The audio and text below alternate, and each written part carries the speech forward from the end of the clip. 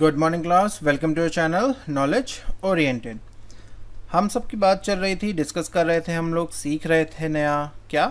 Class eighth का chapter first crop production and management part one में आप लोगों ने देख ही लिया होगा इंट्रोडक्शन मैंने आपको कंटेंट बता ही दिया था हम लोग क्या पढ़ेंगे। ये आपका पार्ट टू है। तो बिना टाइम वेस्ट किए शुरू करते हैं। चलिए। 1.2 पे हम आ चुके थे। खारीफ एंड राबी क्रॉप ख़त्म हो चुका था। बात हो चुकी थी खारीफ क्रॉप का। आपका कहानी था रेनी सीज़न वाला। जून से सितंबर तक होता था पैडी में सोयाबीन ग्राउंड नट या फिर खरीफ क्रॉप में आते थे। राबी क्रॉप में अक्टूबर टू मार्च का सीज़न है। मार्च तक का महीना है। ये है विंटर सीज़न के अंदर आते हैं ये राबी क्रॉप्स। यानी कि ठंड में उगते हैं खरीफ क्रॉप, गर्मी रेनी सीज़न यानी कि बरसात के मौसम वाले हैं। Wheat gram pea mustard linseed linseed आपको बताया था मैंने कि ये तिल का, तिल वाला है, जो तिल का तेल होता है। तिल होता है ना वाइट और वाइट और ब्लैक कलर में होता है तिल। ठीक है, ये हो गया। उसके बाद क्या बताया था? हाँ ये पॉइंट आप लोगों को मैंने बोला था, ध्यान से आपने ध्यान दिया होगा तो पार्ट वन में। और ध्यान तो हो दिया ही होगा मेरे हिसाब से तो। चलिए देखिए बिसाइड दीज इसमें मैंने बताया था कि पल्सेस और जो वेजिटेबल्स थे, ये आपके गर्मियों में भी उगते हैं, ठीक है? ये एक पॉइंट इसके अंदर गिवन था तो इसको कृपया ध्यान रखिएगा। चलिए आते हैं यहाँ पे। Basic practice of crop production ये बेसिक प्रैक्टिस क्या है? अब देखिए, आप क्रिकेट खेलेंगे या कुछ भी करेंगे, पहले तो थोड़ा प्रैक्टिस तो करेंगे ना किसी चीज़, किसी गेम को खेलने से पहले। ये थोड़ा ना चले जाएँगे सीधा कंपटीशन में, आहो, मैं तो आ गया, आज तो मैं तीर मार दूँगा यहाँ पे। हाँ फटाफट। तो थोड़ा प्रैक्टिस करेंगे, अरे बैट कैसे पकड़ते हैं बॉल कैसे फेंकते हैं, चार रन छः रन, किस तरीके से स्विंग करें बॉल अगर बॉलिंग कर रहे हैं तो ठीक है, किस तरीके से स्ट्रोक लगाएँ, ये सब चीज़ें।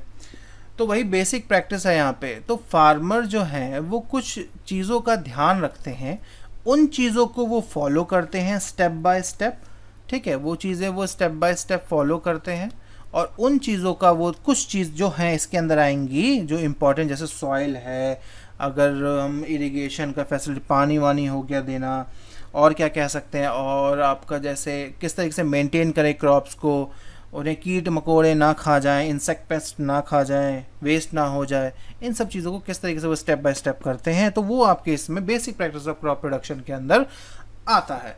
तो अब आगे देखते हैं फटाफट फिर, चलिए शुरू कर basic practice of crop production इसमें आप पहले ही आ गया भोजू यहाँ पे आगे क्वेश्चन लेके अरे यार, चलो कोई नहीं क्वेश्चन देखते हैं।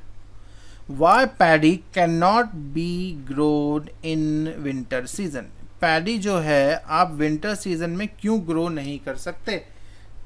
आपको ये मालूम होगा कि पैडी खारीफ क्रॉप है, खारीफ क्रॉप के अंदर आता है और जो ये खारीफ क्रॉप होते हैं, वो आपके बरसात के मौसम में ही उगते हैं। बरसात के मौसम में अगर उग रहे हैं तो यानी कि पैडी को मोर मोर मोर, यानी कि पानी की मात्रा ज़्यादा चाहिए होगी। समझ गए? चलिए ठीक है, आगे देखते हैं। अब यहाँ पे देखिए। अब ये पहेली क्या पूछ रही है?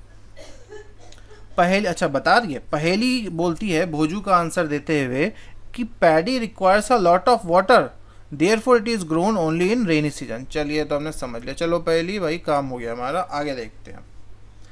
Cultivation of crops involve several activities undertaken by farmer over a period of time यानी कि जो क्रॉप का जो कल्टिवेशन है, उसके लिए फार्मर कुछ स्टेप्स फॉलो करते हैं या फिर अगर हम बोलें तो कुछ एक्टिविटीज़ का वो चयन करते हैं और वो एक्टिविटीज़ का चयन करने का मतलब है रिगार्ड करते हैं उन एक्टिविटीज़ को अंडरटेक करते हैं क्योंकि जिससे उनकी क्रॉप की प्रोडक्शन हाई हो। और जब हम क्रॉप की प्रोडक्शन हाई बोलते हैं तो वहाँ पे क्रॉप की जो यील्ड होती है यील्ड का मतलब होता है उपज। ना, उपज, ठीक है, उपज, ठीक है, ये।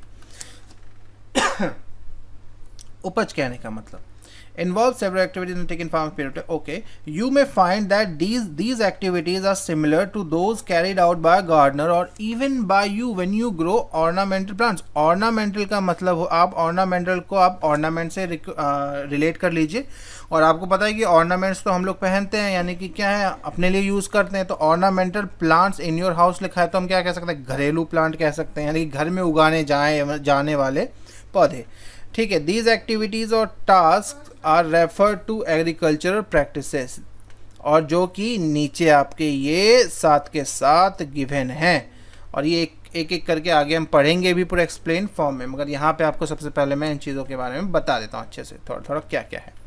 पहला है प्रिपरेशन ऑफ़ सॉइल दूसरा है सोइंग तीसरा है adding manure and fertiliser fourth है इरिगेशन और फिफ्थ है प्रोटेक्शन फ्रॉम वीड्स सिक्स है हार्वेस्टिंग सेवन्थ है आपका स्टोरेज मैं यहाँ पे आपको कुछ चीज़ें बता देता हूँ। जब आप ये आगे पढ़ेंगे, तब आपको बहुत ही ज़्यादा सहूलियत होने वाली है। पहला हम लिखते हैं प्रिपरेशन ऑफ़ सॉइल तो उसके बारे में मैं फ़र्स्ट ऐसे लिख के कर रहा हूँ। आप यहाँ समझ रहे होंगे कि मैं यहाँ से ये फ़र्स्ट पॉइंट के बारे में बात कर रहा हूँ।